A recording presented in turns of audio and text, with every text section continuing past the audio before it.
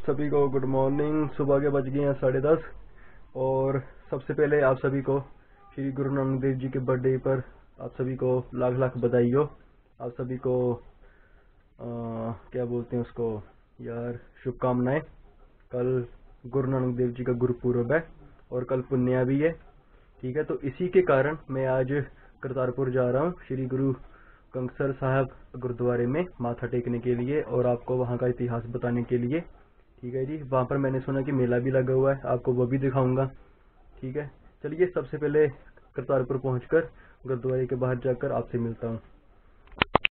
भाई लोग आप सभी को गुड मॉर्निंग सत श्रीकाल हाय हेलो सलाम वालेकुम छोटों को हेलो और बड़ों को पहली पहना दोस्तों, अभी मैं आया हूँ करतारपुर करतारपुर शहर में। ठीक है जी, यहाँ पे एक गुरुद्वारा साहब है। गुरुद्वारा श्री कंगसर साहिब। यह पंजवीं और छवीं पातशाही जी का गुरुद्वारा है। ठीक है जी। मैं एक बार आपको बाहर से दिखा देता हूँ कि बाहर से गुरुद्वारा कैसा दिखता है और फिर आपको इसका इतिहास, आपको अंदर के दर्शन सरोवर के दर्शन और सभी दर्शन करवाऊँगा। ठीक है जी। ये आप बाहर से देख लीजिए एक बार। ऊपर साफ़ साफ़ लिखा हुआ है दोस्तों, गुरुद्वारा कंसर साहब, पातशाही पंजवीं छवीं पंजाबी में लिखा हुआ है। ठीक है जी। आपको मैं गुरुद्वारा के दर्शन करवा रहा हूँ, बाहर से। ठीक है जी।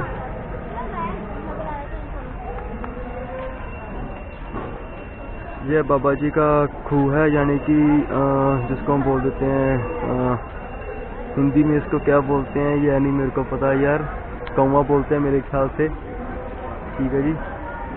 यहाँ पर बाबा जी का निशान साहब, दो लगे हुए हैं ऊपर तक। डेरी यह एंट्री का रास्ता है दोस्तों। यहाँ से एंट्री होगी बाबा जी के गुरुद्वारे के लिए। बाहर बाहर की और मार्केट सजी हुई है इस वक्त। मार्केट आ, बहुत बड़ी सजी है। पाई भला अच्छा, अज इतने की है? कहना मेला लगा था बार कल पुण्य आवा गुरपुरब ओ करके है ठीक है जी। ओके ओके ओके तो भाइयों कल पुण्या भी है और कल श्री गुरु नानक देव जी का बर्थडे है।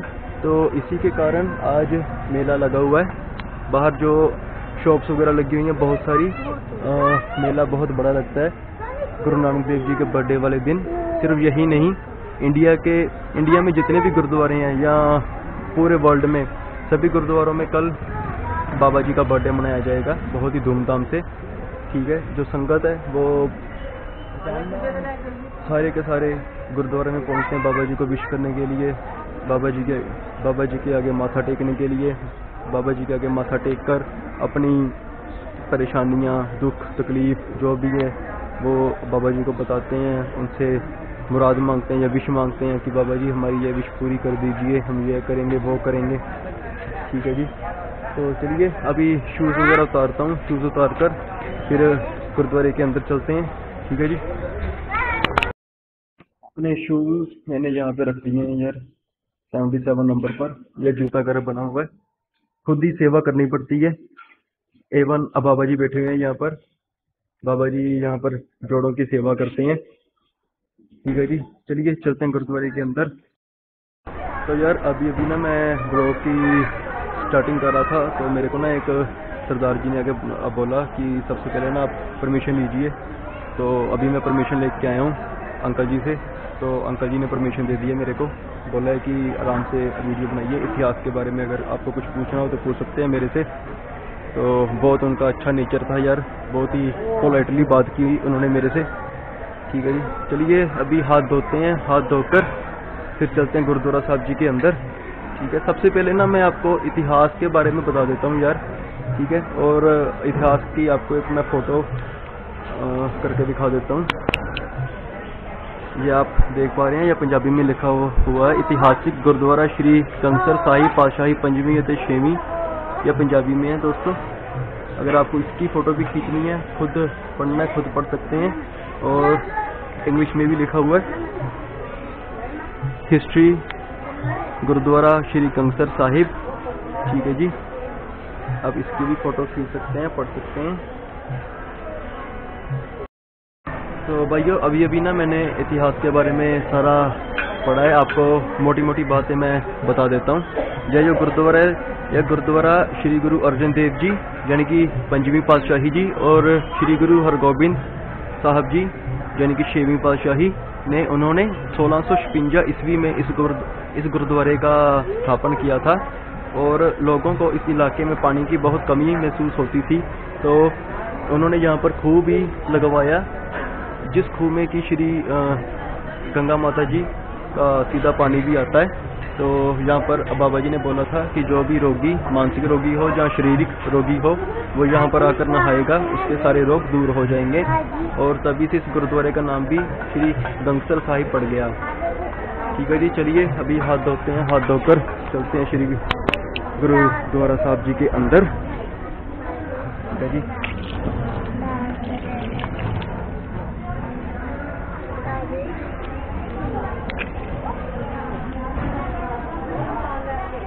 ये यह पैर धोने के लिए। आपको पता ही होगा, हर गुरुद्वारे में मिलता है। यहाँ पर संगत अपने पैर वगैरह धोती है। ठीक है जी यह निशान साहिब। सबसे पहले निशान साहब के टेकेंगे माथा। परिक्रमा भी कर लेंगे, क्योंकि परिक्रमा करनी बहुत अनिवार्य हो जाती है दोस्तों। इस चीज़ का इतिहास मेरे को नहीं पता है। बस आपको बता दिया मैंने। दूसरे निशान साहब जी के भी माथा टेकेंगे। दूसरे बाबा जी, जो जो सब्सक्राइबर या कोई भी यह मेरा ब्लॉग देख रहा है, मैं बस दिल से अरदास करूँगा बाबा जी के आगे कि आप सभी की मनोकामनाएँ आसे मुरादें पूरी हो, आपकी हर एक विश पूरी हो। ठीक है जी, चलिए चलते हैं गुरुद्वारा जी के अंदर।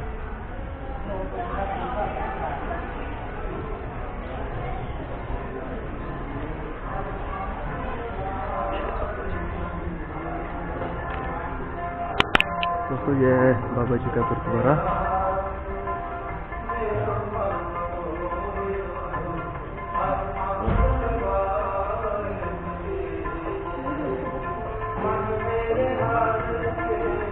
बहुत ही खूबसूरत बना हुआ है, आप देख पा रहे हैं छत भी।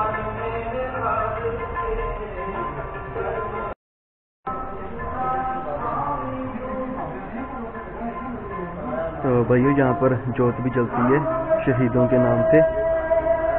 यानी कि जो जो बाबा जी ने भी पंथ के लिए शहीदियाँ दी हैं, ये उनकी जो जलती है, अखंड जोत जलती है। यानी कि ये कभी भी ठंडी नहीं होती, हमेशा ही जलती रहती है। जब से यह गुरुद्वारा बना हुआ है, तब से यहाँ पर जोत जलती आ रही है।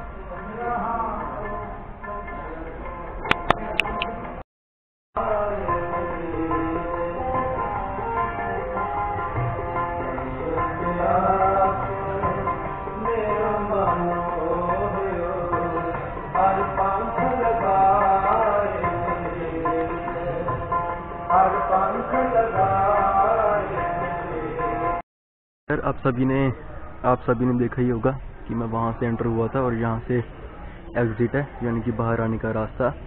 जब आप इस रास्ते से बाहर आ जाते हैं तो यह सामने ही सरोवर है। बहुत ही खूबसूरत सरोवर है और इस सरोवर की भी यह मान्यता है कि जो कोई भी इस सरोवर में नहाता है, उसको कोई भी रोग है या कोई दुख तकलीफ़ है, मानसिक रोगी हो या शारीरिक रोगी हो, उसके सारे दुख तकलीफ़, दुख दर्द दूर हो जाते हैं। इस सरोवर में मछलियाँ भी है, आप देख पा रहे होंगे। रही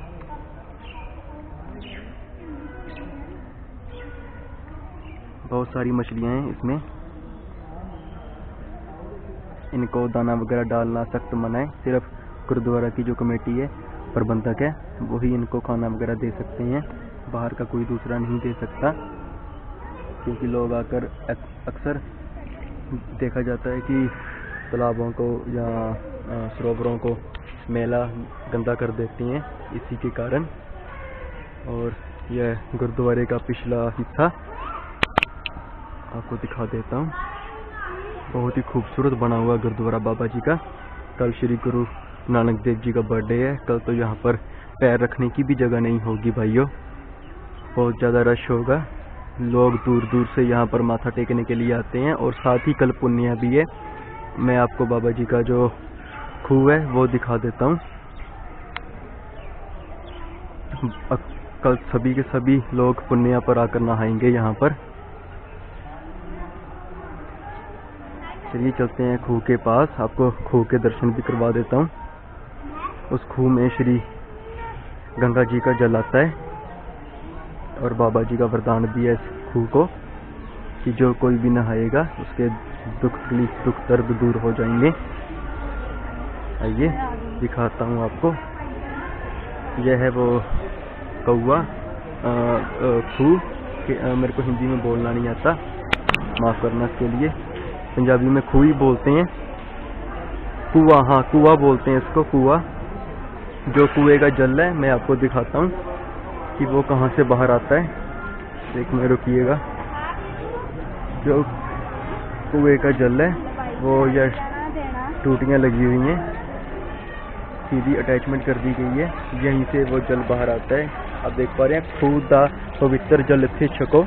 यानी कि कुएँ का जो पवित्र जल है, आप यहाँ से आकर पी सकते हैं। तो यह थे। गुरुद्वारा श्री कमसर साहब जी के दर्शन। एक बार आपको बाहर से भी दिखा देता हूँ अच्छे से। बाहर सभी श्रद्धालु हैं। आप देख पा रहे हैं, यहाँ पर कई शॉप्स हैं।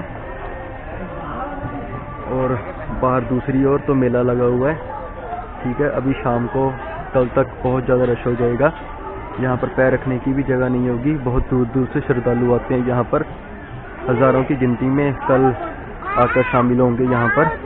बाबा जी का बर्थडे मनाने के लिए हर कोई, जो लंगर की व्यवस्था है, मैं वो भी आपको दिखा देता हूँ कि वो कहाँ पर है। जो लंगर की व्यवस्था है, वो सामने है, आप देख पा रहे हैं, सामने हॉल बना हुआ है, बड़ा सा। वहाँ पर लोग लंगर सकते हैं जाकर। बाबा जी का लंगर 24 घंटे चलता है यहाँ पर। से गुरुद्वारा का दर्शन। आप सभी घर बैठे ही बाबा जी का दर्शन कर सकते हैं, जो लोग नहीं आ सकते। कि नहीं, किसी भी मजबूरी के कारण मैंने आप सभी को दर्शन करवाए हैं बाबा जी के। प्लीज़ चैनल को सब्सक्राइब कीजिए लाइक कीजिए शेयर कीजिए, जितना हो सके। ठीक है जी? और मुझे सपोर्ट करना। मैं ऐसे ही आप लोगों के लिए बेहतरीन और रोमांचक जगहें लेकर आ सकूँ यूट्यूब पर आप सभी को दिखाने के लिए। प्लीज़ जितना हो सके वीडियो को शेयर कीजिएगा। अभी चलिए अपने शूज़ पहनूँगा। शूज़ पहनकर चलते हैं बाहर की ओर। ठीक है जी। जोड़ा घर में आ चुका हूँ। यानी कि यहाँ पर हम जूते वगैरह रखते हैं। यह रखे थे मैंने अपने शूज़ चलिए बाहर चलकर पहनते हैं। तो यार, दर्शन मैंने आपको करवा दिए बाबा जी के गुरुद्वारे के। आप सभी ने कर लिए होंगे अच्छे से, उम्मीद है। और अभी मैं आपको बाहर की मार्केट दिखा देता हूँ कि मार्केट कैसी लगी हुई है। कल बाबा जी के बर्थडे पर। जी यह देखिए, लोगों ने अपनी मंजियाँ वगैरह, सामान वगैरह यहाँ पर रुमाले वगैरह मिलते हैं सिर को रखने के लिए। हैंकर चीफ वगैरह मिल जाते हैं बैग्स मिलते हैं। कैंडल वगैरह है, कल लोग कैंडल आकर जलाएँगे, पटाखे चलाएँगे बाबा जी के बर्थडे पर। चूड़ियाँ वगैरह, कड़े वगैरह मिलते हैं यहाँ पर। ठीक है जी, यहाँ पर प्रसाद मिलेगा बाबा जी का। आपको यहाँ पर खिलौने वगैरह मिल जाते हैं, आप देख पा रहे हैं। और दूसरी और भी सब यही चीज़ यही सब चीज़ें हैं। आपको दिखाता हूँ। यहाँ पर भी खिलौने मिलेंगे आपको बच्चों के लिए। ठीक है जी वहाँ पर बर्तन है। यहाँ पर भी खिलौने बाबा जी का रुमाला साहब मिलेगा यहाँ पर आपको। आप देख पा रहे हैं। ऐसे ही खाने पीने की शॉप्स भी लगी हुई हैं आगे तक। तो लोगों की भी कमाई हो जाती है।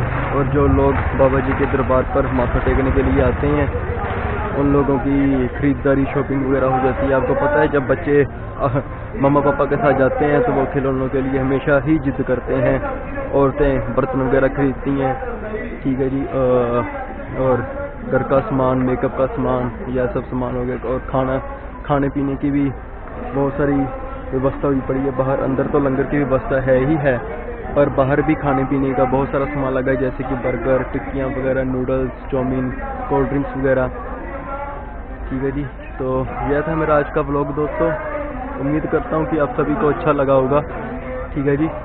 बाबा जी के गुरुद्वारे पर आकर यार बहुत सारा बहुत अच्छा लगा मुझे भी। मेरा भी दिल दिमाग बहुत सारा बहुत ज़्यादा हल्का हो गया है। ऐसा लगा कि जैसे ना मन का हाँ, क्या बोलते हैं बोझ बोझ हल्का हो गया हो। चलिए आखिरी बार करते हैं बाबा जी के दर्शन फिर चलते हैं घर को। आप सभी भी दर्शन कर लीजिए बाबा जी के। बाबा जी, आप सभी की आसे मुरादें, जो भी आपकी विश है, जो भी आपका दुख तकलीफ़ है, सब दूर करें, आपकी विशेष पूरी करें। मैं यही उम्मीद करता हूँ। ठीक है जी। सत श्रीकाल आप सभी को, मेरे भाइयों, मेरे बहनों को। ठीक है जी। बड़ों को पेरीपना और छोटों को हाय हेलो। प्लीज़ चैनल को सब्सक्राइब, लाइक एंड शेयर कर दीजिएगा जितना हो सके। मिलते हैं नेक्स्ट ब्लॉग में। तब तक के लिए बाय बाय